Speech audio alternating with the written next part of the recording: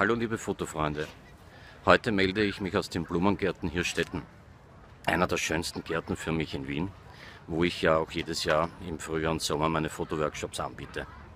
Warum bin ich heute hier? Es gibt eine Weihnachtsausstellung jedes Jahr im Dezember und in einem Glashaus gibt es dort wahnsinnig viele Motive, aber natürlich wenig Licht.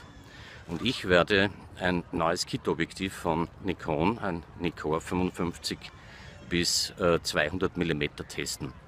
Dabei gibt es natürlich eine Herausforderung, nämlich ich muss die ISO nach oben schrauben.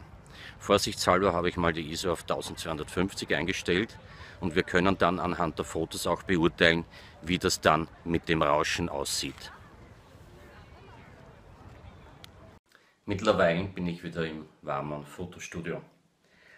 Äh, ich habe mir die Fotos schon angesehen, ich werde sie auch gleich euch zeigen und bin begeistert.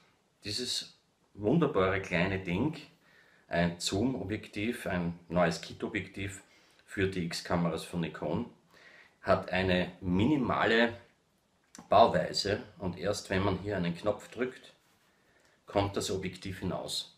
Von 55 bis 200 mm äh, reicht es in den meisten Fällen aus.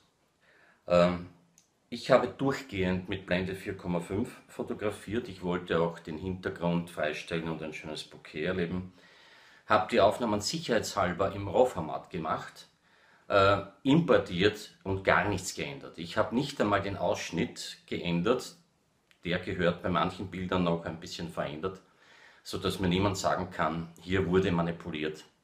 Rauschen gibt es natürlich schon, vor allem bei den dunklen Stellen. Allerdings würde ich meinen, bis zu einer Ausarbeitung von 13 x 18 cm überhaupt nicht sichtbar.